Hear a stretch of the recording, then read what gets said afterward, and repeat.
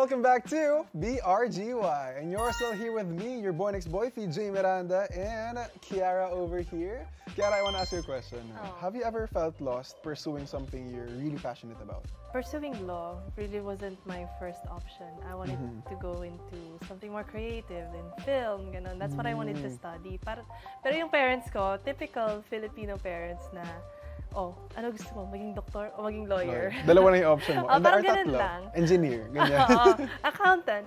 Pero yun nga, parang along the way, because I did my undergraduate and I did my master's, parang along, there, were, there were a lot of points during that journey na parang tinatanong ko yung sarili ko, is it worth it? Am I ready for this? Mhm. Is this really for me? Kasi, di ba, hindi nga ako pumili nun. But, siguro sobrang sinwerte lang ako kasi I've learned to love the legal profession. Mhm. Pero I know that it's it's not the same for other people, di ba? Yeah. Alam mo, Jay, parang ganyan yung pinagdaanan ng isa pa nating global Pinoy for today. Mm. Before kasi mag-excel bilang isang coach and powerlifter, he also had his fair share of failures and self-doubt. So, let's get to know Anthony Lam in our next IRL.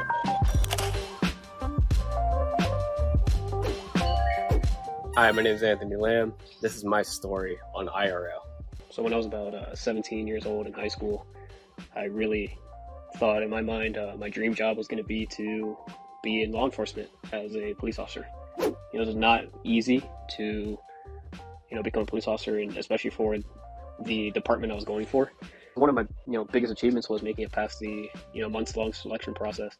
Uh, but once I made it there, you know, I turned around and realized that, you know, this wasn't going to be the job that's going to be sustainable for pretty much the rest of my life. And um, I decided to leave. So after I left my job at uh, law enforcement, I was on the hard road to figure out what it is that I wanted to do, you know, with my life. I, I pretty much was at a loss. I didn't know what else to do. And that's when I found powerlifting as a sport. But once I got into the sport of powerlifting, I will say though it really did change my life in ways I definitely did not know were possible. You know, I would always see guys before in the gym, you know, picking up something, you know, super heavy like one time. And, you know, as a, you know, Muay Thai fighter or, you know, MMA person, you know, we're so used to doing, you know, high intensity training. You know, you take a 10 pound dumbbell and you, you know, curl that, you know, 50 times, you know, but at the same time, you don't realize as a powerlifter, it takes a long road to get to that heavy weight and to lift that properly. So it really showed me a different type of training that proved to me that it takes a lot of hard work to achieve goals that people just don't think are possible. I feel like my greatest achievement so far in the sport um, was my very first competition. Uh, I traveled pretty far um, from my first competition, and um, it was a very big underdog story for me because not only was it far from my hometown, it was new. I, I didn't know what to expect. I didn't even know what to do. Um, you know, it was it was just my brother and I. You know, everybody had a team. Everybody had somebody there that knew what they were doing. It, it was just me and him that you know had to figure things out as we went. And and I went there to lift. I went there to perform. I went there to to prove it to myself that this was all for something. And I still perform performed to the best. Like I still won second place. Um, it was a very very hard road at that point, but you know I, I did exactly what I went there to do, and it turned out to be one of the best experiences in my life. Going into my second competition was very different in a way.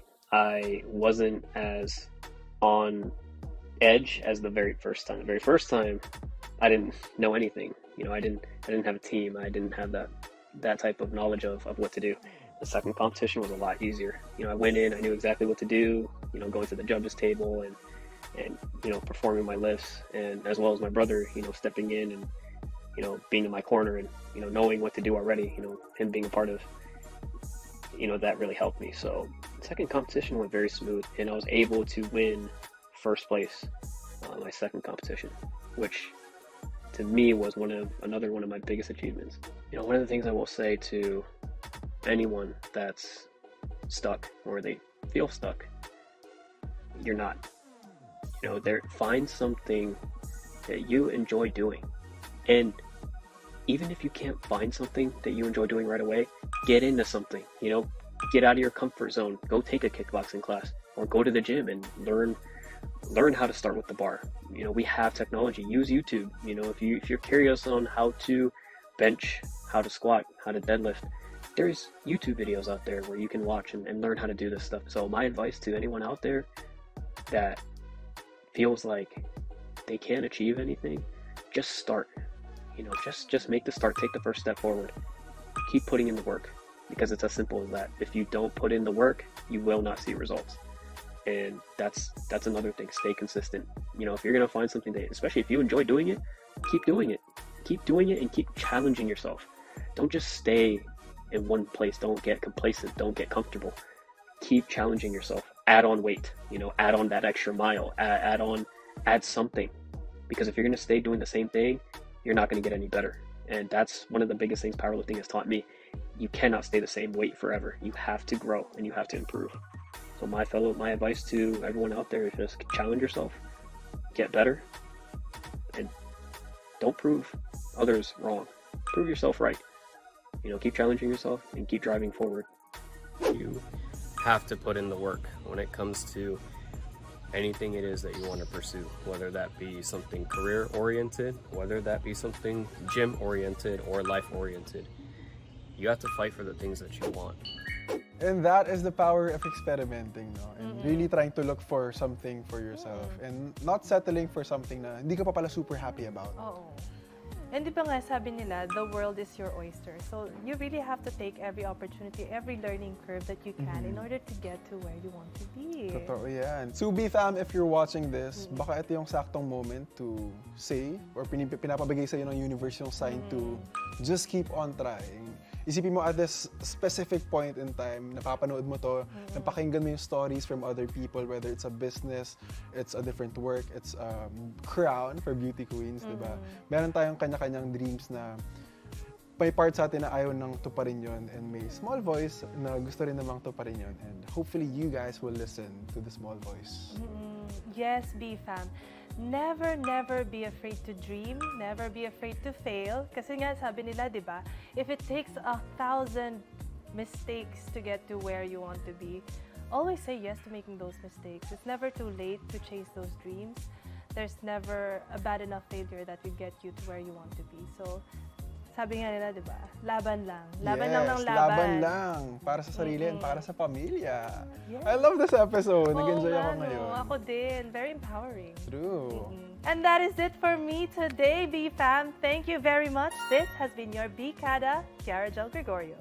Thank you, thank you so much, Kiara, and sa mga B-Fam natin for another inspiring episode. And syempre, kung meron kayong mga na-miss na mga episodes ng BRGY, pwedeng-pwede niyo yan mabalikan sa YouTube. Just go to ABS-CBN Entertainment YouTube channel and search for BRGY. And also, you can watch our episodes through the I Want TFC app anytime and anywhere.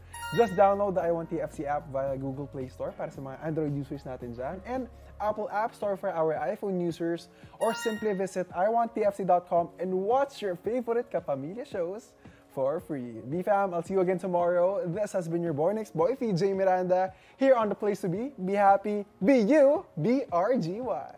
Thanks, Kiara. Thank you. All I hate